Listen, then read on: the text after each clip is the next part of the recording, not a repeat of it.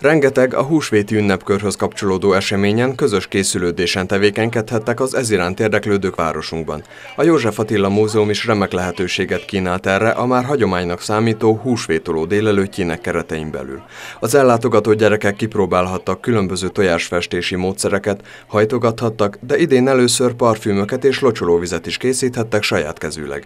Szikszai Zsuzsanna múzeumigazgató véleménye szerint az intézmény dolgozóinak fontos feladata, hogy a régmúlt szokás hatásait megismertessék a fiatalokkal oly módon, hogy közben szórakoztassanak is. Azt szeretnénk hangsúlyozni, hogy az ünnep az mindig más.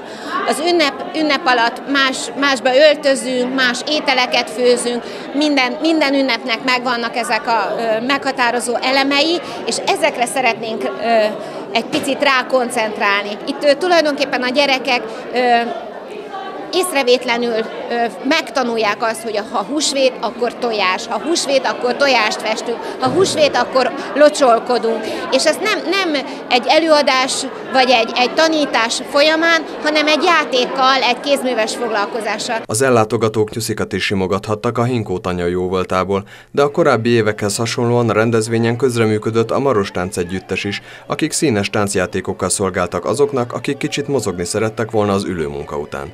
Tótné Döme Mária, a társaság vezetője elmondta, a repertoárt igyekeztek úgy összeállítani, hogy az minél több különlegességgel szolgáljon. Koncentráltunk a tojásos és nyuszis játékokra, elsősorban a kicsiket céloztuk meg, tehát mondjuk az alsó vagy esetleg a felső tagozatosokat, akik eljöttek civilben, és a táncosaim ebben segítkeztek, illetőleg a játékok és a betélkedők mellett olyan táncrendeket próbáltam összeválogatni, amelyek mondjuk kuriózumnak tekinthetők, tehát mondjuk eltekintettem a délalföldi táncoktól, az a miénk, hanem egy picit kitekintettünk Kalocsára, föl a Balócvidékre, vagy a Somogyi táncokat próbáljuk meg elsősorban, vagy esetleg egy kis felvidék itt még. A szomorkás idő ellenére sokan vettek részt az eseményen, amely így nagyon jó hangulatban telt. Több fiatal már tapasztalatokkal érkezett a kézműves délelőtre, és számos tevékenységben kipróbálta magát. Mit készítesz most éppen?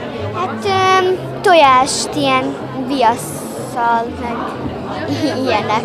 És mi kell hozzá, hogyan kell ezt elkészíteni?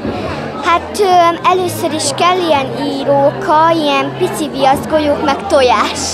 És ugye gyertya, hogy a, megolvaszik a viaszt. Csináltam ő kosarat, csináltam ilyen tojást, készítettem ilyen, ilyen gyurmából készült ilyen figurát, ami ehető.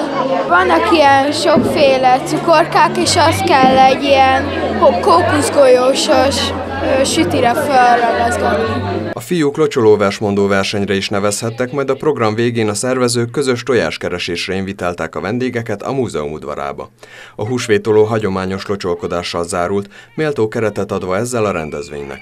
Mindenről bővebben csütörtök esti Társalgó című kulturális magazinunkban számolunk be.